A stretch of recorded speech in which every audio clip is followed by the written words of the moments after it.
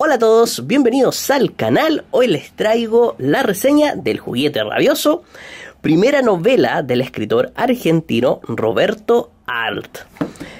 Publicada en 1926, es conocida como su obra más autobiográfica. En ella, el personaje principal, Silvio Astier, narra en primera persona los sucesos de su vida cuando tenía entre 14 y 16 años.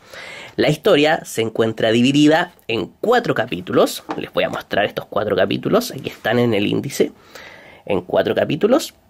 Los cuales son independientes entre sí. Si los lees te das cuenta de eso.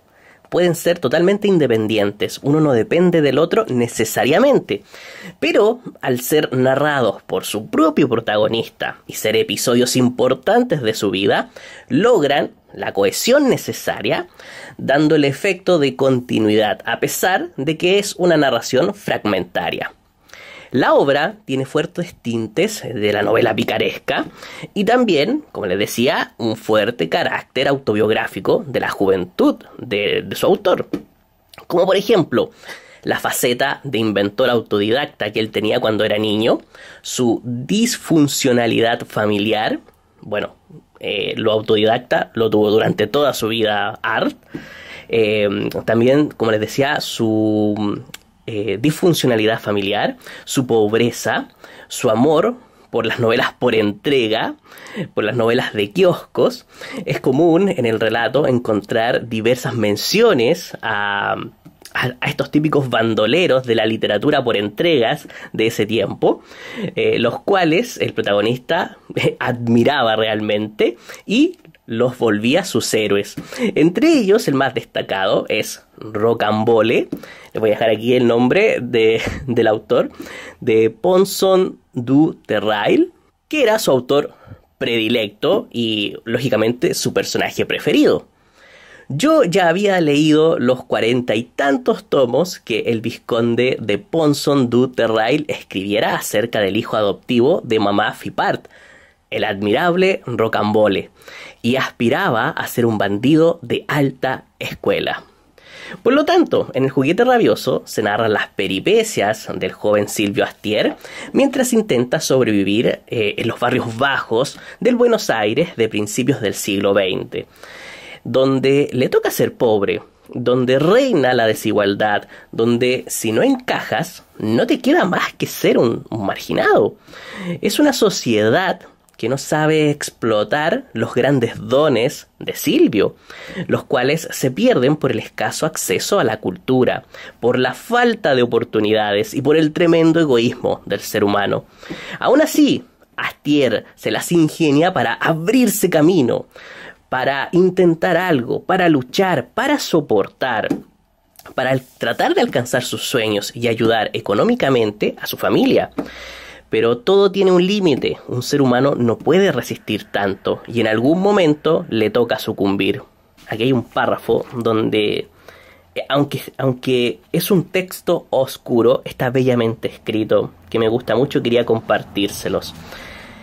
Eh, en ocasiones eh, Silvio tiene este tipo de pensamientos cuando, cuando la vida lo golpea muy duro y dice así, algunas veces en la noche yo pensaba en la belleza con que los poetas estremecieron al mundo y todo el corazón se me anegaba de pena como una boca con un grito.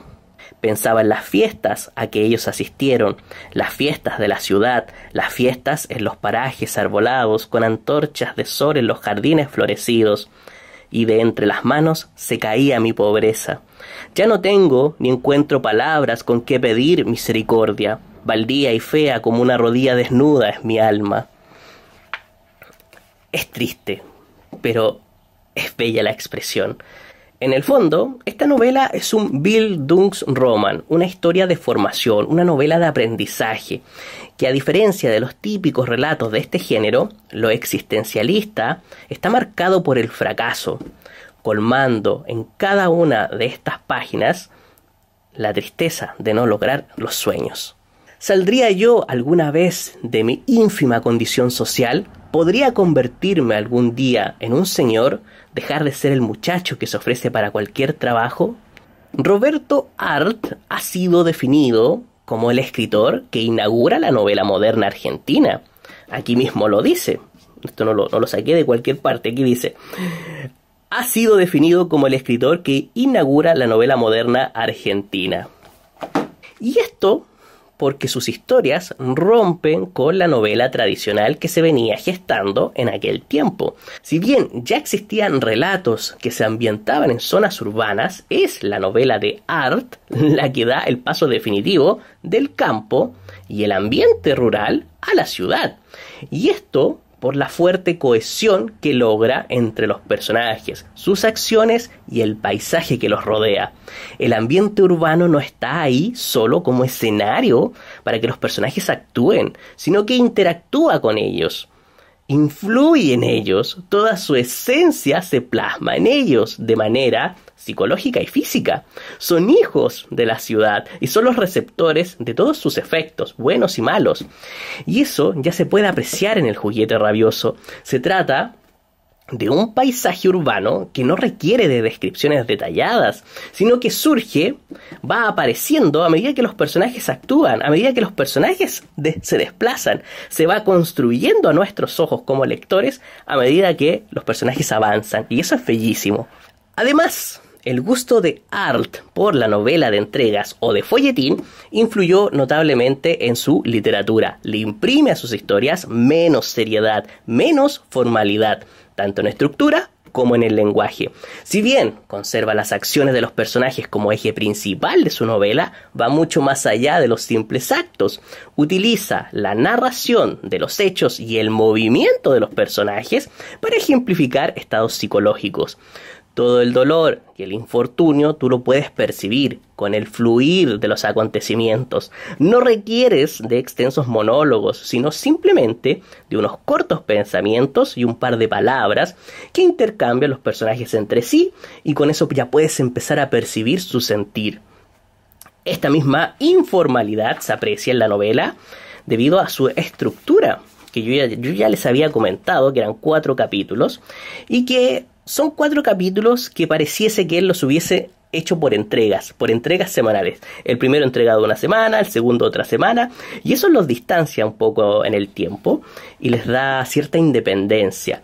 Se sienten como capítulos independientes, pero con la salvedad de que son parte de la vida del personaje principal, son parte de la vida de la vida de Silvio, y por eso forman un solo cuerpo. No importa que tengan cierta característica fragmentaria. Forman un solo cuerpo por ser parte de Silvio, eh, porque representa su crecimiento como persona en distintas etapas de su vida. En cada uno de estos capítulos encontraremos una forma de trabajo con la que el personaje intenta ganarse la vida, una edad específica, el sufrimiento por el constante fracaso de sus proyectos y la aparición de distintos personajes que no solo tienen el rol de interactuar con Silvio, sino también la de representar la sociedad argentina de los barrios bajos del Buenos Aires de aquel tiempo, que a pesar de representar muy bien lo bonaerense, no se encasilla en su idiosincrasia, sino que las temáticas que van surgiendo son de tipo universal, la pobreza, la desigualdad, la mezquindad humana, la injusticia y la traición. Lo que sucede en ese Buenos Aires es lo que sucede en cualquier urbe del planeta. Si bien utiliza un lenguaje libre de complicaciones, un lenguaje coloquial y una prosa directa, eh, que no es rebuscada, que no busca lo estilístico, aún así se pueden encontrar algunos pasajes llenos de bellas y melancólicas descripciones. Por ejemplo, aquí Silvio describe bellamente la ciudad en un trocito muy pequeño, miren, se los leo. También agradábame en las mañanas de primavera corretear por las calles recorridas de tranvías, vestidas con los toldos del comercio. Complacíame el espectáculo de los grandes almacenes interiormente sombrosos, las queserías frescas como granjas con enormes pilones de manteca en los estantes, las tiendas con multicolores escaparates y señoras sentadas junto a los mostradores frente a livianos rollos de telas y el olor a pintura en las ferreterías y olor a petróleo en las despensas se confundían en mi sensorio como el fragante aroma de una extraordinaria alegría, de una fiesta universal y perfumada, cuyo futuro relator fuera yo. Aquí describe la ciudad en un trocito chiquitito, pero es una ciudad escrita con, alegría, es una ciudad descrita em, de forma pintoresca. Él dice corretear, ¿se fijan? Que, le quita formalidad con el lenguaje. Dice corretear y aún así escribe un texto precioso que no, no cae en los chabacanos, sino que es, bello de todas maneras. Eh, esa es la gracia de, de este autor, que al usarlo coloquial, de todas formas, hace bellos textos no, es baja literatura, es precioso. Y también me pasó que en este libro encontré muchas palabras que actualmente yo creo que están en desuso, que no las, no las veo mucho eh, utilizadas y tampoco mucho utilizadas en los libros. Y encontré varias. Por ejemplo, aquí hay una. Les voy a mostrar. Rocambolesco. ¿Han, ¿Han visto rocambolesco en los libros? Bueno, yo no lo he visto muy a menudo. Rocambolesco es como algo extraordinario, eh, eh, grande, y, y, justamente se desprende del personaje que, fue creado por del, que admira Silvio, que es Rocambole, el que yo les contaba al inicio. Y admira a Rocambole y en el mismo libro utiliza la palabra rocambolesco que se deriva de ese personaje. Precioso encuentro yo eso, preciosísimo. Eh, Aquí está otro más, otro más. Aquí describe a un personaje, él, les voy a leer un poquito aquí el texto para que entiendan. Va, acompañando a un personaje bien especial que dice, si los comerciantes se irritaban, está refiriéndose a ese personaje, él les gritaba que no quería ser engañado, que bien sabía que ellos eran unos ladrones, pero que se equivocaban si le tomaban por tonto, porque era tan sencillo. bueno, andaba atrás un personaje que estaba peleando con las personas mientras él compraba. Y, este personaje decía, no, ustedes son unos, ladrones, me toman el pelo porque me ven sencillo. y, el personaje dice, o sea, bueno, y Silvio, Silvio dice, su sencillez era chocarrería, su estulticia, vivísima granujería. estulticia, ignorancia, estulto, ignorante. Entonces, chocarrería, una broma de mal gusto. Y dice, su sencillez era, por ejemplo, si lo, si lo traduzco, su sencillez era una broma de mal gusto. Su ignorancia, vivísima granujería. ¿Se ven cómo ocupa estulticia y chocarrería? Genial. muy, muy, muy interesante las palabras que he ido encontrando aquí. Eh, ¿Dónde tenía otra? Por aquí dije marcado. Ah, aquí está. Aquí dice, He aquí cómo se establece una reputación y cómo el prestigio secunda al principiante en el laudable arte de embaucar al prójimo. Laudable arte, laudable, que, que merece laureles, que, que merece alabanzas. no, genial, genial. Por lo tanto, este juguete rabioso aparenta simplicidad en apariencia, pero es eso, apariencia, ya que al dejar de lado lo engorroso y lo rebuscado, no pierde profundidad, no pierde riqueza en el lenguaje, a pesar de ser coloquial, ni tampoco calidad literaria. De esta forma, Roberto Art, con esta novela, estaba dando su primer paso hacia la modernidad, saliendo del siglo XIX y entrando en el siglo XX, alejándose de lo convencional, alejándose de la tradición conservadora de aquel tiempo, que estaba muy influenciada por la cultura europea, es decir, dejaba de lado lo elitista y abrazaba lo marginal, tal cual como su personaje principal, tal cual como Silvio, un marginado, tal cual como el mismo Roberto. No me gusta mucho la opinión que tiene Bolaño sobre Art, en general. Eh, dice cosas que no me gustan mucho. es, muy, muy gracioso porque, porque no le gusta, porque no ve muy con buenos ojos esta literatura, Roberto Bolaño. Pero él se parece mucho a, Art. se, parece, mucho, entonces es extraño. Pero hay una parte que, que dice Bolaño que sí me gusta, que la encontré en internet y se las voy a leer. Art es rápido, arriesgado, moldeable, un sobreviviente nato, pero es un autodidacta, aunque no un autodidacta en el sentido en que lo fue Borges. El aprendizaje de Art se desarrolla en el desorden y en el caos, en la lectura de pésimas traducciones, en las cloacas y no en las bibliotecas. Art es un ruso, un personaje de Dostoyevsky, mientras que Borges es un inglés, un personaje de Chesterton, Shaw o Stevenson. Y tiene toda la razón. Art es más como nosotros, que no nos quedaba más que comprar literatura con pésimas traducciones si queríamos leer algo en papel cuando éramos jóvenes. Eh, Art era un lector de ediciones de kioscos, igual que nosotros, cuando, cuando no teníamos presupuestos para comprar libros. Era un lector de bibliotecas públicas, un lector de novelas de entrega. Eh, y todo eso influyó notablemente en su literatura. Y en esos kioscos leía pésimas traducciones de Dostoyevsky, como decía Bolaño, de los rusos, porque era un gran admirador de Dostoyevsky. Y eso le imprime una realidad desbordante al juguete rabioso, su primera novela. Claro, está muy influenciado por Dostoyevsky. Le imprime a su novela una realidad que al ser representada mediante una prosa directa, pero vigorosa, deja en evidencia los rasgos psicológicos de sus personajes.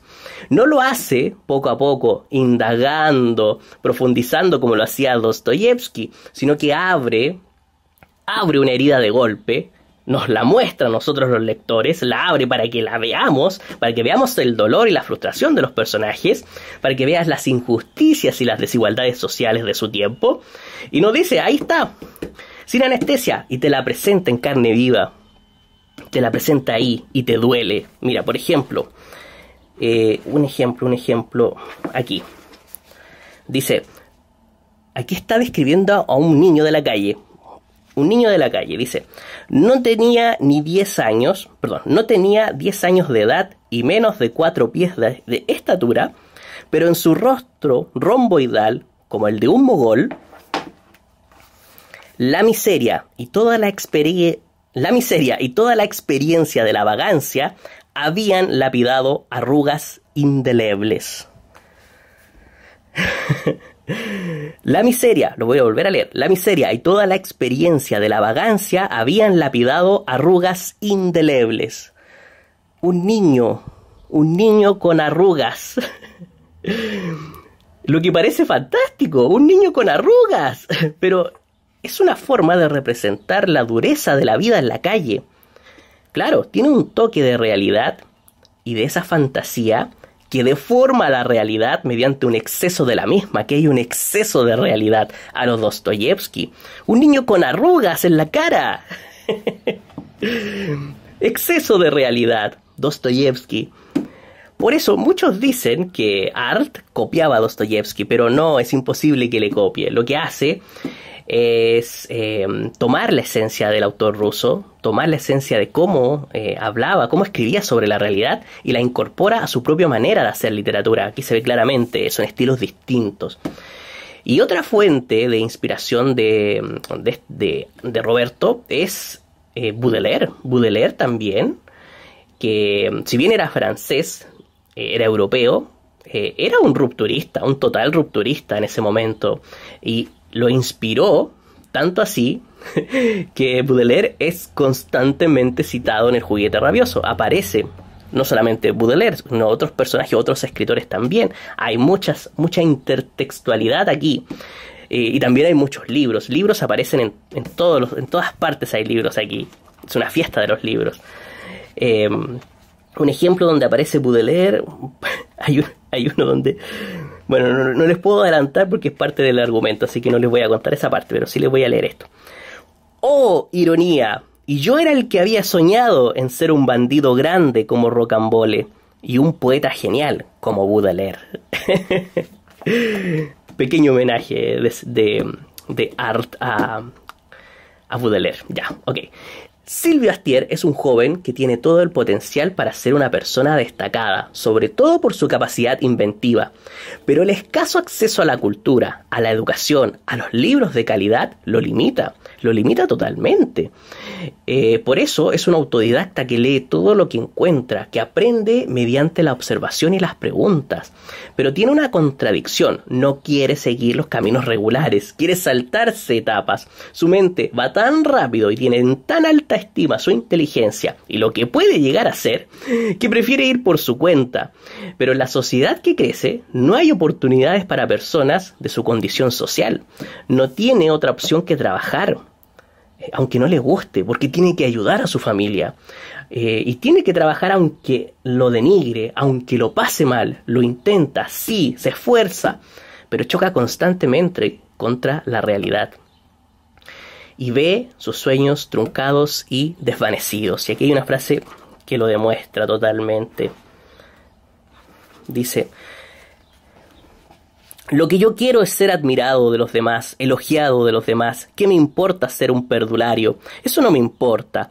Pero esta vida mediocre, ser olvidado cuando muera, esto sí que es horrible. Ah, si mis inventos dieran resultado. Sin embargo, algún día me moriré y los trenes seguirán caminando. Y la gente irá al teatro como siempre. Y yo estaré muerto, bien muerto, muerto para toda la vida. Silvio no lucha para salir de la pobreza solamente. No, ese no es su principal motivación. Eso es un efecto colateral para él. Él lucha para ser reconocido. No quiere sobrevivir, quiere admiración de los demás, la grandeza que merece, que él sabe que merece. Se tiene muy alta estima y está dispuesto a todo para lograrlo. Trabajar, aunque lo denigre, trabajar en lo que sea, robar e incluso caer en la peor de todas las bajezas. Y está dispuesto a todo, a todo eso, porque está cansado de intentarlo, cansado de ser un juguete, un juguete de la realidad, un juguete rabioso. Me habían comentado que algunas ediciones traen un fragmento extra que se titula, si mal no recuerdo, se llama Recuerdos del Adolescente esta edición no lo trae, les digo al tiro, pero fue un capítulo suprimido de la versión original que publica el autor en 1926. Eh, eh, lo saca del libro, no es parte original de la novela, pero se encontró ese fragmento y en algunas ediciones se incorporó. ¿Cuál es el valor de ese fragmento? Eh, básicamente apreciar la etapa temprana de, esta novela, los primeros bosquejos de esta novela, sus inicios, para para poder eh, analizar cómo fue evolucionando después. Pero no es parte vital, lógicamente, de la novela, porque el autor la sacó en un inicio. Así que no sé qué edición lo tendrá, si alguien sabe lo deja en comentarios, y espero que les haya gustado esta reseña, y nos vemos la próxima semana.